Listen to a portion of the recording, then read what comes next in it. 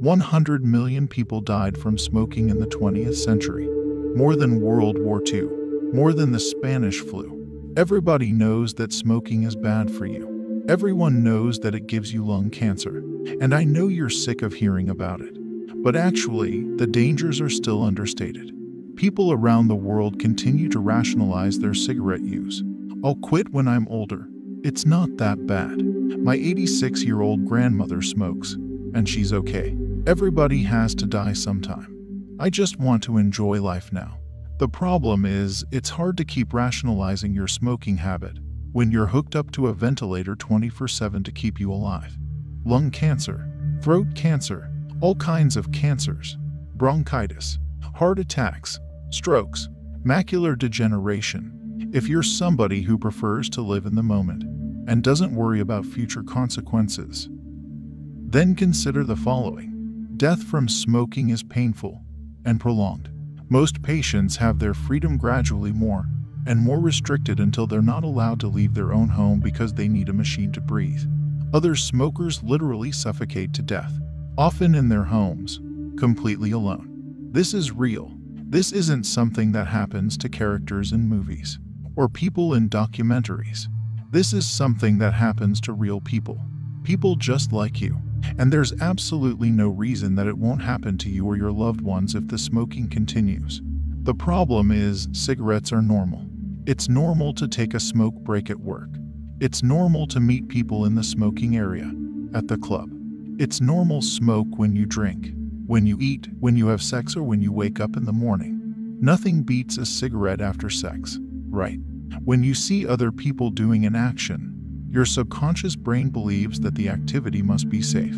And so you don't feel fear as you inhale thousands of chemicals into your lungs. You know intellectually that smoking is bad, but you don't feel like it's dangerous. Your subconscious brain doesn't understand that a huge portion of the population you're surrounded by is hooked onto a highly addictive substance that's slowly killing them. Not only is smoking normal, but you might even think it's cool. Do you feel cool as you breathe in that sweet, sweet smoke and look off wistfully into the distance? Contemplating life. Or as you flick open that lighter and hold it up to your mouth. Do you feel cool as light up another one in the smoking area? of the club with all the other cool kids. Bottle of beer in one hand, cigarette in the other. Do you feel like a rebel? Do you feel unique?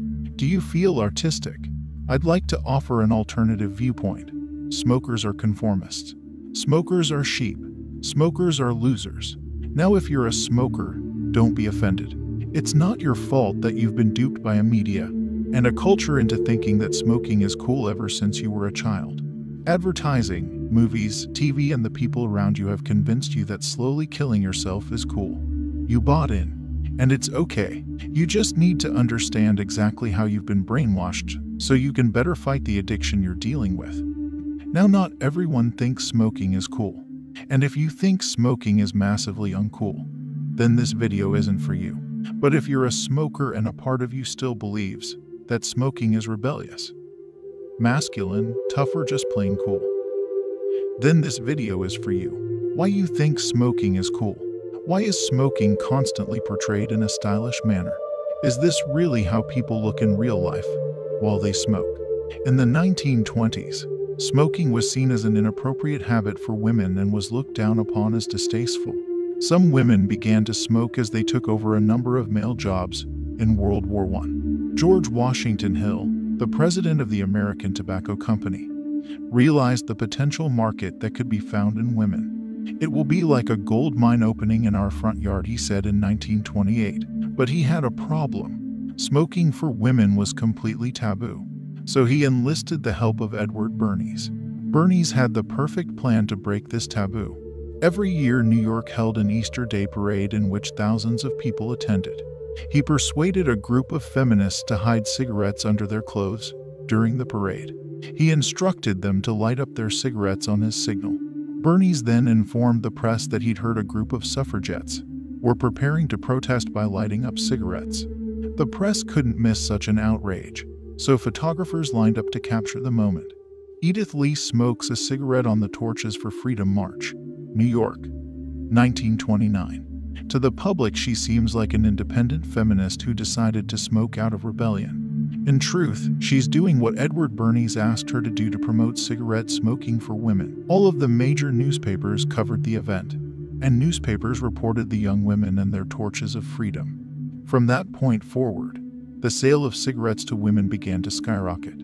With a single symbolic act, Bernays had broken the taboo towards women smoking cigarettes and made them socially acceptable. He had also managed to link cigarettes with rebelliousness and female empowerment, an idea that is still strong in the minds of modern people. Women up and down the country began furiously lighting up cigarettes as a symbol of empowerment and freedom, never realizing that they were manipulated by Edward Bernays and the tobacco industry. The message is clear be a tough motherfucker. Smoke. But actually, what does smoking have to do with being tough? Do you think smoking makes you tough? In the 1950s, people were starting to get concerned about the health consequences of cigarettes. So cigarette brands began releasing the filtered cigarette. Adding a filter, they said, made the cigarette safe to smoke. Most cigarette companies based their advertising around the technology of the filter. They wanted to ease fears about smoking. Marlboro took a different approach, making adverts completely devoid of health concerns or health claims. Instead, they opted for the gun-slinging badass of the Wild West, Marlboro Man. In 1955, when when the Marlboro Man campaign started, sales were at $5 billion. In 1957, sales had reached $20 billion. It was an enormous success. Marlboro easily overcame growing health concerns, and their sales continued to increase. After all, the Marlboro Man wouldn't be scared of a little health issue, and he's a real man. The public had been successfully manipulated by mass marketing. An association had been created in the minds of people everywhere. Smoking equals masculinity.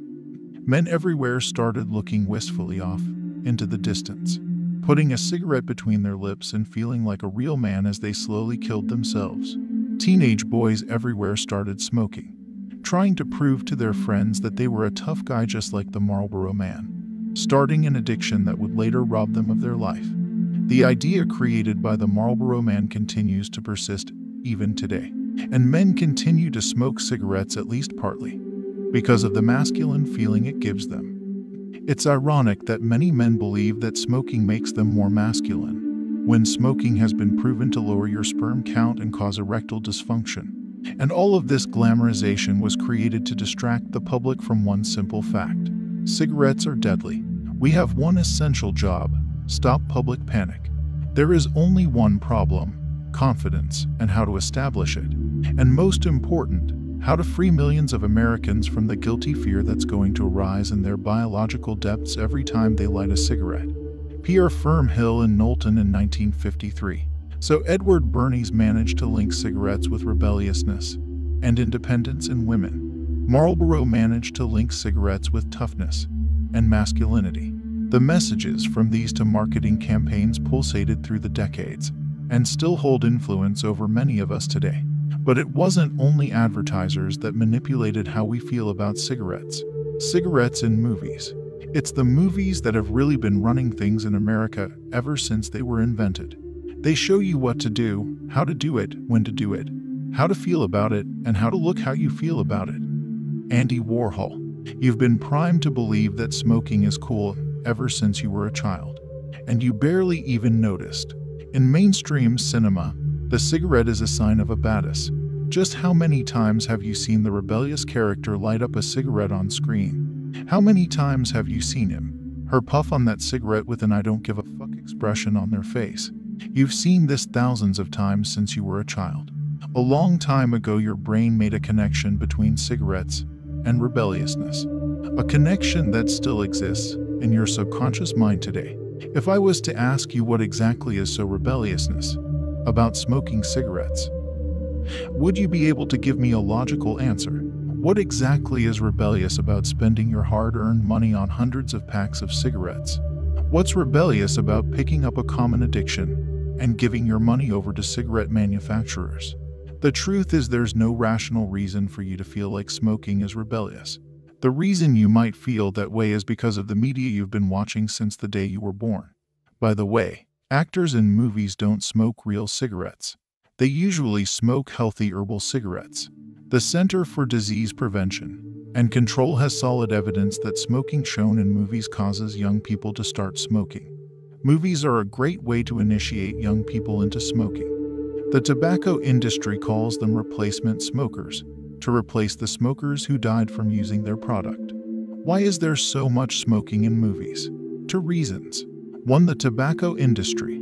The tobacco industry are the original champions of product placement. In released documents, the following deals between the tobacco industry and the movie industry have been proven. $350,000 to have Lark cigarettes appear in the James Bond movie License to Kill. $42,000 to place Marlboro cigarettes in Superman 2, $30,000 to place Eve cigarettes in Supergirl, $5,000 to have Lucky Strike appear in Beverly Hills Cop, $500,000 for Sylvester Stallone to use Brown and Williamson products in five feature films. And these are just the few deals we know about. Other deals were undoubtedly made behind closed doors, but we have no access to those records. Even so, it seems highly likely that the tobacco industry had something to do with the prevalence of cigarettes in movies. As you can see, the scenes in both the advertisements and movies of the time are eerily similar, probably because the tobacco industry held influence over the script of many of these movies. Film is better than any commercial that has been run on television or any magazine. Because the audience is totally unaware of any sponsor involvement, CEO of Production Incorporated Robert Richards talking to President of RJR William Smith. There are far more smokers in movies than in real life, and the health consequences of smoking are rarely ever seen in movies. An endless list of studies has shown that cigarette smoking in movies leads to smoking initiation in teenagers. We don't know exactly how many deals were made between the tobacco industry and Hollywood. But we do know that the tobacco industry was well aware of the power of movies to change public opinion. It's reasonable to assume that the tobacco industry has been heavily involved in Hollywood throughout the decades. To lazy script writing, cigarette manufacturers had created an association between cigarettes and masculinity, rebelliousness, and independence. This association was then reinforced by the movie industry, often without any help from the tobacco industry. The cigarette became a plot device. Want to make a character seem more rebellious? Put a cigarette in their hand, and the audience will immediately understand what kind of character they're dealing with. Of course, there is nothing inherently rebellious about holding a cigarette. Cigarettes are nothing more than nicotine, tobacco, and an assortment of chemicals wrapped in paper. But the public and the writers already had a particular emotional connection towards cigarettes instilled in them by the tobacco industry. So cigarettes got endless amounts of free advertising through the movie industry. The tobacco industry in 2021. Cigarettes are not a problem of the past. They're a problem of the present. Yes, the number of smokers in developed countries is dropping. Government led anti smoking campaigns have had an impact on the psyche of the public. Many now see cigarettes as the deadly, addictive, and life ruining devices they really are. There are health warnings on every cigarette packet and cigarette advertising is completely banned. But guess what? The tobacco industry isn't declining, it's booming. Confused? The following image is from modern day Indonesia. No, this isn't the US 50 years ago. It's Indonesia in 2020. Indonesia is now the second largest cigarette market in the world. 36% of the population are reported smokers, 63% of men, and only 5% of women. Advertising for cigarettes can be found on billboards, on TV, and magazines. Online and almost anywhere else you can think of. Almost all major events in Indonesia are sponsored by cigarette brands, especially events of a more Western nature. Why is cigarette advertising allowed in Indonesia? Because cigarette brands lobby the Indonesian government to stop any regulation being passed. Indonesia is a developing country that's trying to lift itself out of poverty. Cigarette brands are taking advantage of this and using the vulnerability of the government to make extreme profits. The exact same marketing strategies that were used on developed countries decades ago are being used in developing countries, from Indonesia to Africa, because movies and advertising made a link between smoking and masculinity in the minds of the Indonesian public. 63% of Indonesian men are smokers. Cigarettes are ridiculously cheap in Indonesia, at around $1.20 a pack, and they're far stronger than the cigarettes we have in the West. It's no surprise, then, that lung cancer is increasing. Over 200,000 people die from cigarettes in Indonesia every year. And it's not just Indonesia. The tobacco industry is taking advantage of countries all over the developing world. They have moved the cigarette epidemic from developed countries to developing countries. The biggest problem the tobacco industry has is that its customers keep dying. Two thirds of long term smokers will die from smoking related illnesses. That's why it needs to focus on what they call replacement smokers by constantly advertising to young people in developing countries. The tobacco industry is doing fantastic. And they're still making billions of dollars through the legal sale of a highly addictive drug, nicotine. It may be useful, therefore, to look at the tobacco industry as if for a large part of its business is the administration of nicotine BAT scientists. In 1967, here's the truth a cigarette is simply the delivery device for a highly addictive drug called nicotine. It's not masculine, it's not rebellious, it's not artistic, it's not a sign of independence. These are all lies sold to you by the tobacco industry. The tobacco industry doesn't see smokers as human beings. It sees them as walking dollar signs. They have no morality and they're perfectly happy if their product kills hundreds of millions of people, as long as it keeps producing insane profits. Every single time you feel cool as you light up a cigarette, the tobacco industry is laughing at you. And every time a teenage boy lights up a cigarette because he thinks it's manly, the tobacco industry rubs its hands together